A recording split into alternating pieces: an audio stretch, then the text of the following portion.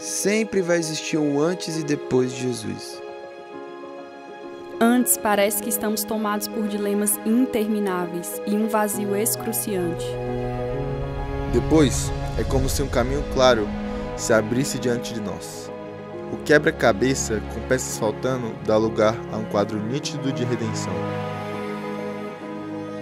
As antigas experiências viram poeira sob seus pés. Jesus é aquele que responde às dúvidas mais íntimas dos nossos corações e que nos responde o porquê de estarmos aqui.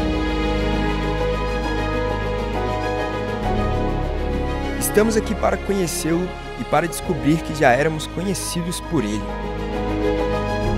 No fim, somos também reconhecidos como seus mensageiros, como seus servos, como seus filhos. Nenhuma experiência termina em si mesma. O Evangelho, a mensagem de Jesus, está aí para nos mostrar que as experiências passadas nem se comparam com aquilo que ainda há de vir. Porque Ele mesmo nos disse: coisas muito maiores nós faríamos.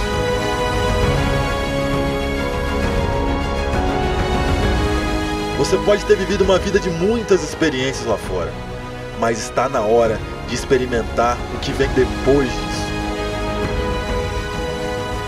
Você está pronto para experimentar Jesus aqui e agora?